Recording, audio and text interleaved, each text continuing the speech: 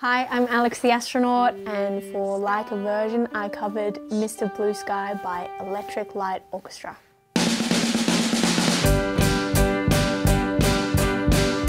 I've always liked this song. My parents used to play it at their parties when I was really little. I think that's how I know it. It's the reference that I always use when I'm writing songs. I've always tried to write a song that's as fun and epic as it, but just one day. I'm just working into it.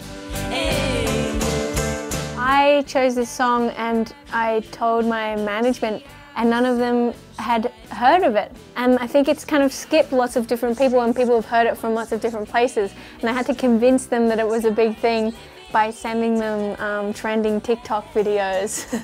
I sent them the montage from Guardians of the Galaxy, which had Groot dancing in it. We put a little Groot on my vocoder.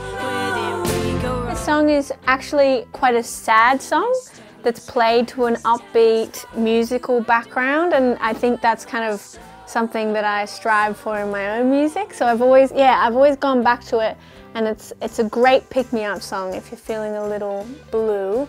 It's a, it's a good one to listen to. In rehearsals it came together actually a lot qu quicker than I thought. I've been practicing this song for about six months now, so.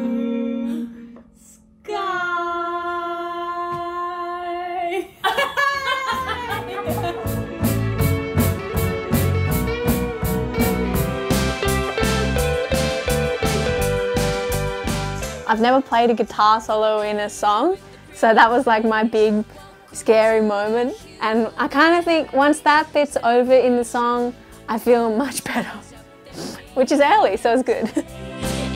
so Lindy Morrison played in the Go-Betweens and she played drums today and we've toured together before and she's probably the funniest person I've ever met. Being in a rehearsal room with Lindy for six hours is a thrill and I think People should probably film that. That was that would be very entertaining to see six hours of Lindy on camera. Lindy, how did you go?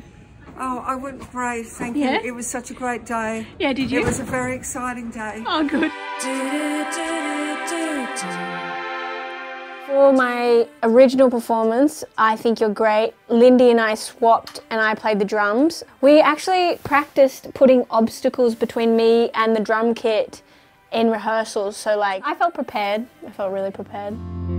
24 little hours. Last time on Like a Version, I covered Paul Kelly's If I Could Start Today Again, and it doesn't get less scary. Last time I cried once, and this time I only almost cried once. So that was, that was, that's improvement, I guess. I wanted to dedicate the song to all the kids going through school right now. I can't imagine what it would be like seeing the world from the perspective of someone that's about to go out into it right now. I think that would be so overwhelming. I think Mr. Blue Sky is a good song to put on when, when you're feeling that overwhelmed. There is hope and there's going to be a new day and it's going to all get better. So I wanted to do two songs that were really fun and last time I did a pretty sad song so it's good to play, good to play something fun.